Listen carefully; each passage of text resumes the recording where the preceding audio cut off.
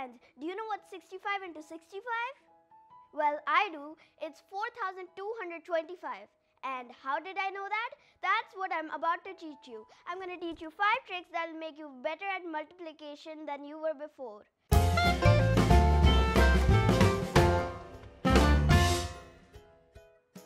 Trick 1. Everyone knows this but we're going to learn how to multiply with 10. If you don't know already, let me teach it to you really quick. So, if we have the number 13 for example and we want to multiply it by 10, we would take out the 0 and do 13 times 1 which is 13 and then bring the 0 back over here. So it will be 130 but what if there is more than one zero like 64 times 100 then we would do basically the same thing. We would take out the zeros do 64 times 1 which is 64 and add both of the zeros back again. So it would be 6400 then you can say use the same technique and multiply any number that ends in a zero like this. Let's use 24 24 into 20 equals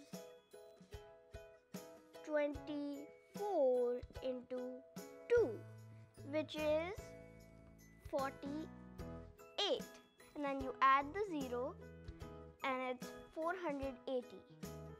Trick number 2. How to multiply by 11. Now most people think that's really easy like 11 times 2 is 22 but there's another trick. If you want to do 11 times 232.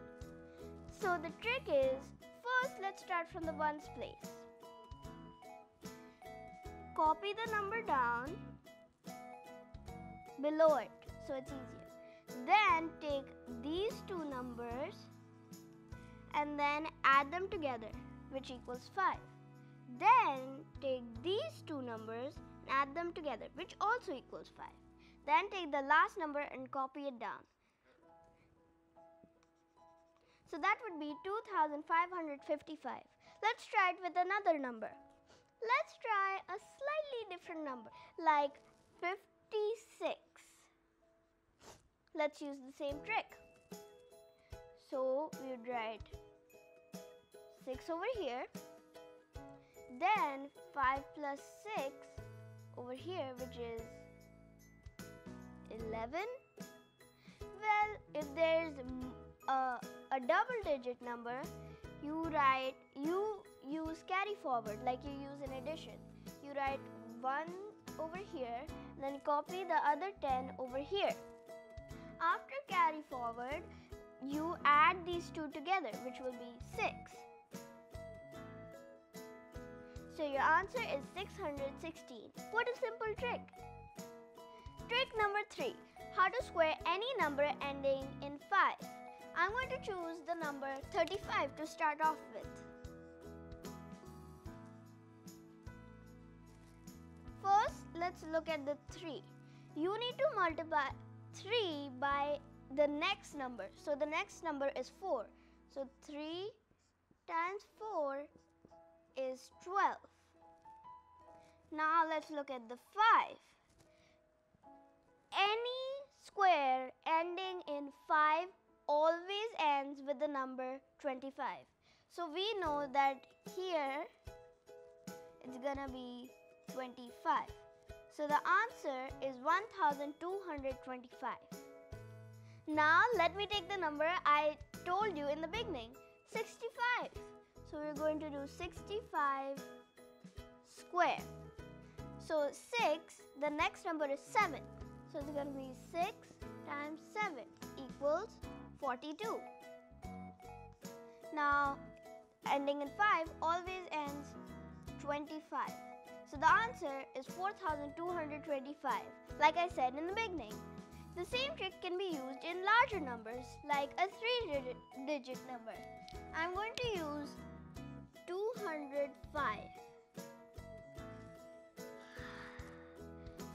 last number is 20. So we're going to write the next number is 20, 21. So 20 into 21. Now let's use the trick I showed you in the beginning. How to multiply numbers with 0 in the end.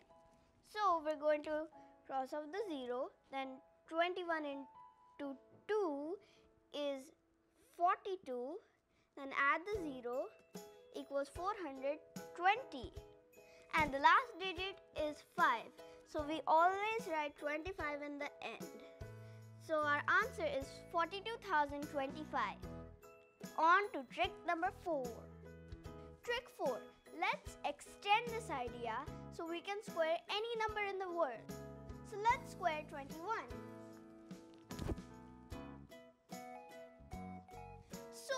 first we need to find the nearest 10. The nearest 10 to 21 is 20. And between 21 and 20, there's a difference of minus 1. With 21 minus 1 equals 20. Since we subtracted 1 here, we're going to add the 1 here to get another number.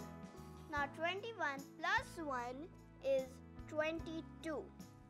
Now we need to take multiply them. 22 times 20. Remember the first trick we did multiplying by 10. So we do, we forget about this. Then we do 22 times 2 which is 44. Then we add a 0.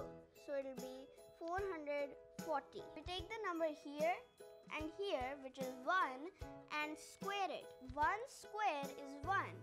So we do 440 plus 1 which is 441.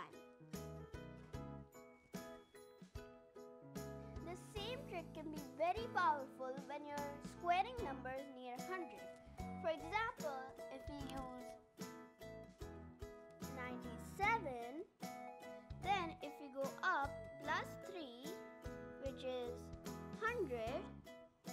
then we have to go minus 3 which is 94.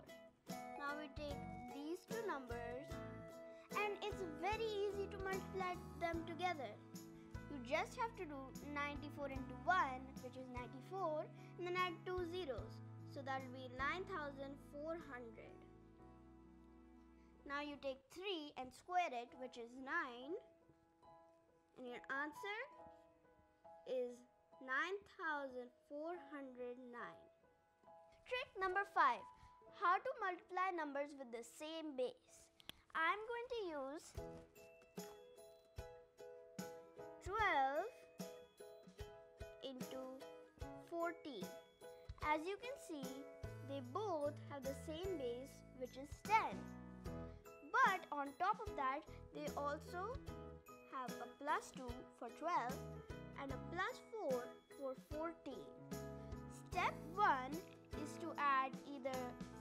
plus 12 or 2 plus 14. Either way, then they equal to 16. Then you have to multiply that by 10 because they have the same base. 16 into 10 which is 160. Then you have to take both of the numbers on the top which were extra and multiply them which is 8. Then add 8 to the sum you got before. So the answer should be 168.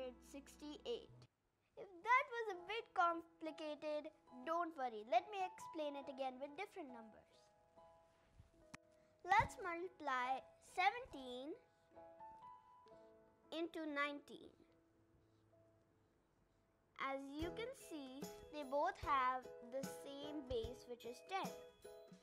Then they have a plus 7 and a plus 9.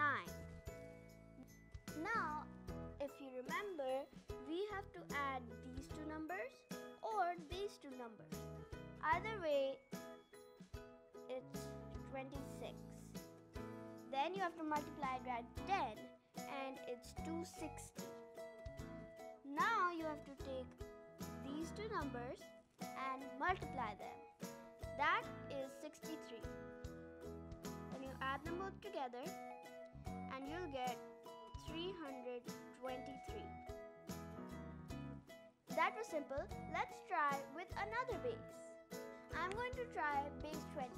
Let's do 24 into 28. They both have the same base, which is 20. Over here, it's plus 4. And over here, it's plus 8. Now let's add these two or these two. Either way, it's 32. Then you multiply it by 20. 32 times 2 is 64. Then you add the 0 and it's 640. Now you have to take these two numbers and multiply them, which is 32. Then you add them together, which is 672.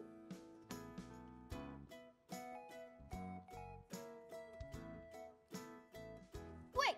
Do you know 65 square? 42,025.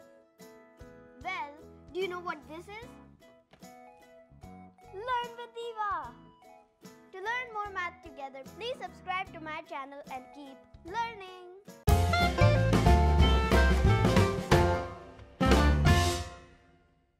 Let's try a slightly different number, like the number is Achu.